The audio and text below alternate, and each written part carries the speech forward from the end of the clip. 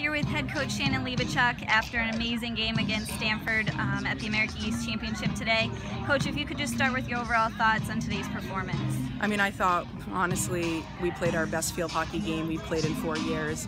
Um, we absolutely saved our best for last, and we came up short. I, I, think we elongate that game 10 more minutes. We, we certainly have the opportunity to tie it up, but obviously the game's only 70 minutes, and um, we had our opportunities, but overall, I just couldn't be more proud of how this team competed today.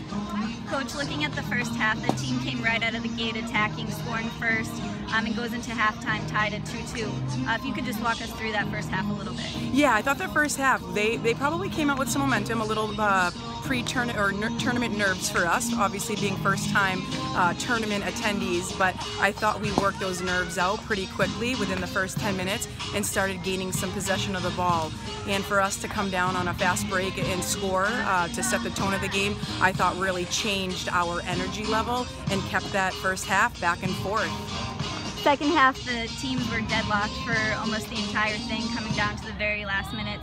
Um, what was the difference in the second half? I think both teams brought their energy level up. They knew they were going to have to compete hard. I think we brought that Lowell fighter mentality um, throughout the game, and I think that maybe stunned Stanford a little bit. Um, we talked a lot about our preparation of pride and competing, and I couldn't be more proud of their efforts in attaining those two goals.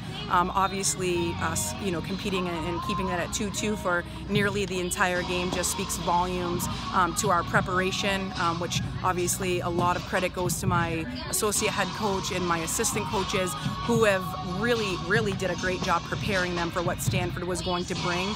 And I think that was the difference. And I, I, I guess I'm a little bit, um, I don't, I don't have a lot of words because I'm, I'm stunned that the game that was just played um, happened, but stunned in such a, a happy and amazing way because I didn't know this team had it in them. I mean, I hope that they did, and maybe I did know, but to bring it out this last game and compete and represent our conference um, as the number four seed in our university against Stanford just speaks volumes to the character of this team. Um, and I'm just really, I, I mean, I'm going to continue to use the word proud, but I am, I am the proudest coach today.